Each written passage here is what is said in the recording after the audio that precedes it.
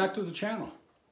Today's kind of a special day because I am reviewing a Cordoba concert ukulele. This is the UP 100, the UP 100. Kind of special to me uh, because about six years ago, I bought my first ukulele and it was a Cordoba concert. It wasn't this one, but it was something similar. So a few years after that, my youngest grandson came to me and said, uh, Grandpa, I'd like to have a, a ukulele also. And so I did some research and ended up purchasing him this ukulele. Now this is the uh, UP 100 and this is the one that comes in the Cordoba ukulele pack. So you have somebody typically just like what my grandson was. He wanted to uh, learn the ukulele and so I went to the local music store, talked to the guys there, and bought him the Cordoba pack. So what it, basically it's, it's a starter pack. It's everything you need to be able to begin playing the ukulele. So you get the uke, you get a, a gig bag, it's like a tuner and some picks and uh, you know a little music book and and all of that. So uh, I went and bought him one and we uh, set it up, put some strap pins on it, different strings, and he's had it ever since. He's had it for probably at least four years, maybe even longer than that. And then that snail that I reviewed not too long ago uh, is also his. So what do you get for, I mean, if you, if you quickly Google Cordoba UP100, you'll find the website, Cordoba's website, but you'll also find a bunch of people that sell these. Uh, you know, 100 bucks maybe for the pack, maybe slightly less. I wouldn't pay more than that for it. Not because it's not a good uke, just because you can get them anywhere for, you know, 80, 90, 100 dollars. So the UP100, this is like the entry level mahogany concert ukulele. And so you can see it's, it's surprising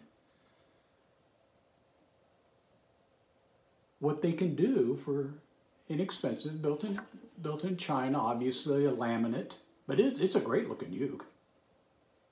It's a, a laminate mahogany, and it has um, rosewood fingerboard and rosewood bridge, and um, the Cordoba tuners, open gear tuners. I really like those. I mean, this thing sat in the case forever, and I took it out, and it took me like 10 seconds to tune it. It was that close, which I thought was, was pretty amazing. So this is a great uke for someone who is just beginning with ukulele, or hey, maybe you've got uh, a few koalohas and kamakas, but it's winter, it's cold out, you really don't want to take that to the local jam, but you'd like a uke that plays well and sounds, you know, decent and uh, this one plays great, and as you heard, I think it sounds fine. It, it uh, is a good value for the money, for the beginner, or maybe somebody that's got a bunch of ukes, but they really don't feel good about uh, taking them outside. So uh, this is a ukulele that you could hang on the wall and let it set for a year and pick it up and tune it in 10 seconds and it would, it would sound great. The heat's not going to affect it. The air is not going to affect it. Um, it's no need to humidify. And of course, this is one of the great things about a laminate uke versus an all solid uke. All solid ukes, especially in the wintertime when your heater's running and drying out there, they've got to have a humidifier with them in the case. And you've got to take a little more care, which is fine. I mean, I've done that dozens of times with different ukes and guitars. Really expensive on both ends there as far as guitars and, and ukuleles. And if you go through my YouTube channel or my, my uke blog, you'll see the kamakas and the Kolohas and, all that stuff. But it's nice to be able to have a uke that uh, you don't have to worry about as much. It's going to be fine. You can hang it on the wall. The thing about having it out on the wall is it's much easier to grab it and play it. So I, uh, I think, in fact, this has been in the case so long, I took it out, I started strumming, I go, man, this thing sounds incredible for a, a uke that came in a pack with a case and all the other stuff for, you know, I probably, it was probably somewhere around a hundred dollars. Pretty sure these are living water strings. I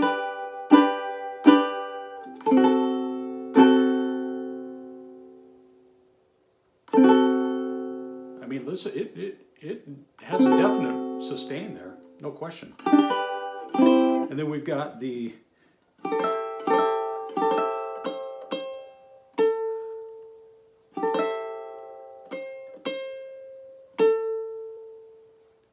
Still rings, beginning of Christmas time this year. We always check that note. Sounds good. Um, a nice ukulele. I put some strap pins on it, you know, and check the nut and the, the action, and it plays really good. Out of the box, actually, it was really, really fine.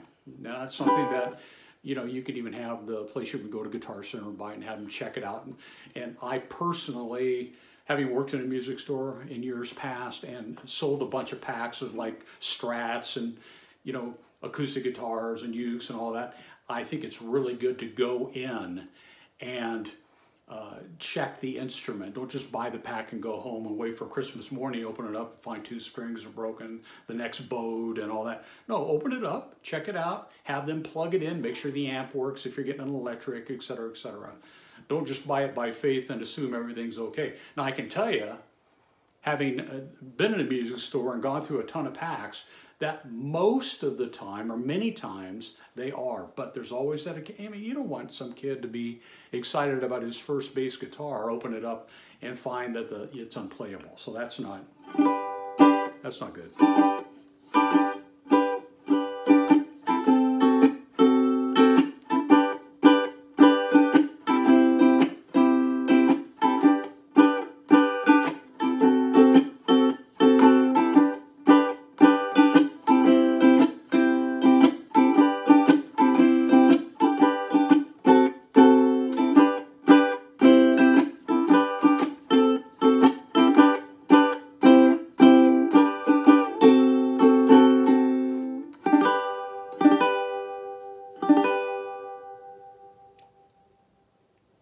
From where I'm sitting, it sounds different to you than does me because I'm above the sound hole. I mean, I'm here, it's sustained in there, it sounds good, it stays in tune well.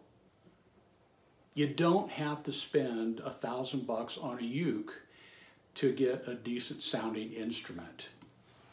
Is this the best instrument on the market? Of course not. Is it an instrument you could buy and play for years and take to your uke jam and stuff and it would sound good? Yeah, I wouldn't hesitate to do that. I mean, I've taken, I've taken, you know, thousand dollar, you know, sopranos, and I've taken uh, laminated uh, sopranos and baritones, same thing. I mean, the last thing I want to do, uh, because I've taken baritones to uke jams before, they really like that. They like to have that low end, etc. As long as you know how to play it. When they're playing an F, what you play as an F is obviously different. But when you do that, it adds a lot to the jam but you're probably not going to take your Pohaku uh, baritone out to a uke jam when it's snowing. Uh, at least I wouldn't, and I had one, and it was a fantastic instrument. But I wouldn't take that. I honestly, this Makala that I've used before recently in some of my baritone demos, I would take that in a millisecond. All laminated mahogany, cost me less than a hundred bucks, sounds fantastic. I set it up, put some living water strings on it, and it'll keep up with anything else around. So it, nobody's going to be going, oh my God, he's playing a Makala. Nobody cares, really, honestly. They don't care you're playing, playing about Pohaku that costs 1500 bucks or a Makala that play costs probably 80 bucks. It doesn't matter. What's the most important thing? It's the player. You need an instrument that's that's decent. It has a, a nice neck. It's not bowed and all that. Uh, I've got one of those. I've got a 1960 Silvertone baritone that basically I bought as a quote collector item that's not really playable. It looks cool, but you can't really play it. It just needs to have a decent neck, good construction, sounds good. It doesn't have a bunch of dead notes on it. Uh, intonation's decent. And you can take this and go to any uke jam you want to. I wouldn't hesitate. For a hundred bucks. Come on. And, and, by the way, I do not work for Cordoba. So um, now as we look at this, I've showed you, the one thing I didn't really point out was it's got obviously the, the markers on the top, but it does not have the markers on the side. And if you know anything about me, you know that I really need that. Even if it's a Kamaka with a marker at the seventh, that really gives me some point of reference. I prefer that myself. So if this was my uke, I'd probably add the side things. But other than that, I, I, I highly recommend this. Christmas is coming. Tomorrow's December 1st. Someone in your family said, oh, you play uke? I'd like to learn how to play the uke. Oh, I've got to buy them a, you know, $1,500 Kamaka. No, you don't. Don't you, a $100 pack, open it up, make sure everything's okay, tune it up, play it, or have the person who works at the store play it, and then bring it home, wrap it up, and they, will, they won't know the difference, first of all, and they're just gonna love it. They're gonna, they're gonna love it, and it's gonna last them forever. This will last my grandson, who's now 16 and driving, um, the rest of his life if he wants to do. There's no reason why, it, as long as he takes care of it and doesn't set it down, you know, and step on it or something, um, it's going to be fine. Listen to it. Now, what's next? Well, I reviewed the um, Snail concert uh, and I reviewed this. I've also done a caramel that I actually added the side dots to and all of that. Uh, gosh, a couple years ago at least, maybe longer. Probably, probably a couple years ago. Gave that to my other grandson. Uh, and then I've got an Enya. Now all of those four, those are the only concerts I have now. Colo is gone, unfortunately. So I have four concerts that really are in the same type of classification, more of a, an entry-level uke, which is fine. But how do they sound in comparison to one another? So I have never done a comparison with four instruments. So I think next time what I'm going to do, what I'd like to do is a comparison of those four instruments that are all entry level, all safe to hang on the wall, all laminate. The one, one is a high pressure laminate, the Enya, and uh, share with you how they sound and how they play and um, what I think. I mean, the, the, the, you can go back and look at the video of the caramel, but I, I, I think I paid like, gosh, 50 bucks for that. So, uh, I would suggest um, coming back, and we're going to do that in a week or two. So down here, you can subscribe. You can also hit the bell so you'll get all the notifications of when I post. And uh, I would really appreciate if you do that. Also, you know, a lot of people, I watch a lot of YouTube videos, but very few of them talk about sharing. Share this video with friends and other people that you know that play, etc. So um, this is part a little bit of our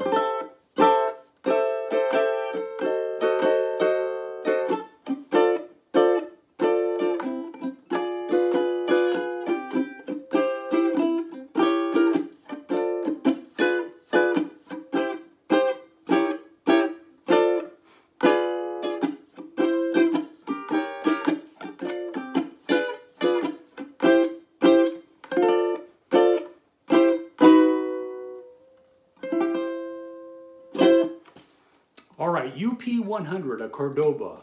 Check it out. And next video, God willing, will be four entry-level concert ukes. How do they compare? Until then, I'll see you later. Bye-bye.